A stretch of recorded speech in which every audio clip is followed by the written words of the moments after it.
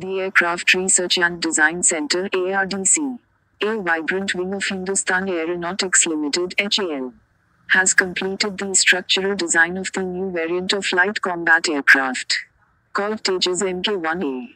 The provisional set of drawings has also been released, which will finally be cleared by the certifying agencies.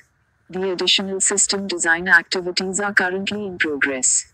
In six months' time, new set of equipment will start arriving ahead for integration.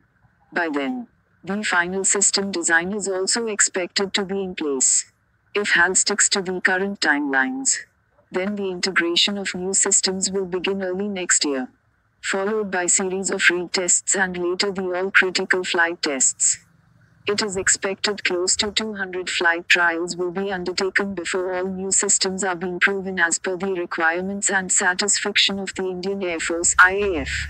The advanced features of Tejas Mk1A will be proven on two limited series production LSP aircraft, which are part of the ongoing trials of the fighter program.